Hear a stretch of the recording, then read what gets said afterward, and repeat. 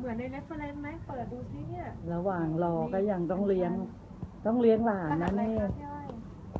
แม่วันรักกำลังนวดอยู่เอ้ยเขามองเขามองแพนเขามอง ดูผมนี่นี่กันชันเป็นผมนี่ลูกชอบผมทรงไหนตรงไหนคะป้าอ้อยทำเหมือนหรือเปล่าดูสิดูสิกันชันตาโตมากเลยอะกันชันตาโตมากเลยค่ะ อุ้ยสวยอุ้ยอุ้ยจองคิวป้าอ้อยทำผมเลยไหมคะ